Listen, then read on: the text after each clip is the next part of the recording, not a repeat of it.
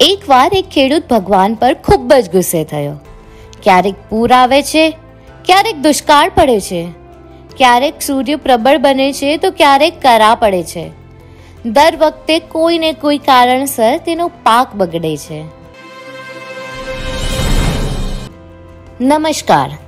હું છું રેના મહેતા અને લાવી રહી છું તમારા સમક્ષ એક નાનકડી વાર્તા, જેનું શીર્ષક છે, ખેડૂતે ભગવાનને કહ્યું તને ખેતીની ગતાગમ જ નથી. એકવાર એક ખેડૂત ભગવાન પર ખૂબ જ ગુસ્સે થયો. ક્યારેક પૂર આવે છે, ક્યારેક દુષ્કાળ પડે છે. ક્યારેક સૂર્ય પ્રબળ બને છે, તો ક્યારેક કરા પડે છે. દર વખતે કોઈ ને કોઈ કારણસર તેનો પાક બગડે છે. એક દિવસ ખૂબ કંટાળી ગયા પછી તેને ભગવાનને કહ્યું, ભગવાન જુઓ, તમે ભગવાન છો. પરંતુ લાગે છે કે તમને ખેતીનું બહુ જ્ઞાન નથી. હું પ્રાર્થના કરું છું કે તમે મને એક વર્ષ માટે તક આપો. હવામાન મારી ઈચ્છા જેવું જ રહે. પછી તમે જુઓ કે હું અનાજની દુકાનો કેવી રીતે ભરીશ. ભગવાને હસીને કહ્યું, ઠીક છે. હું તમે કહેશો તેમ હવામાન આપીશ. હું દખલ નહીં કરું. ખેડૂતે ઘઉંનો પાક વાવ્યો. જ્યારે તેને સૂર્યપ્રકાશ જોઈતું, ત્યારે સૂર્યપ્રકાશ મળતું. જ્યારે પાણી જોઈતું, ત્યારે પાણી. એમણે જોરદાર સૂર્યપ્રકાશ કરા પૂર કે તોફાન આવવા દીધા નહીં. સમયની સાથે પાક વધ્યો અને ખેડૂતની ખુશી પણ, કારણ કે આવો પાક આજ સુધી થયો નહોતો.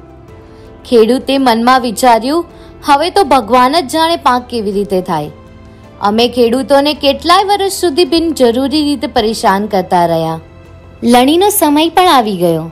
ખેડૂત ગર્વથી કાપણી કરવા ગયો, પણ લણીની શરૂ થતાં જ છાતી પર હાથ રાખીને બેસી ગયો.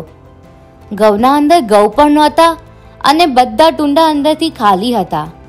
અત્યંત દુઃખી થઈને તેને ભગવાનને કહ્યું, પ્રભુ, આ શું થયું?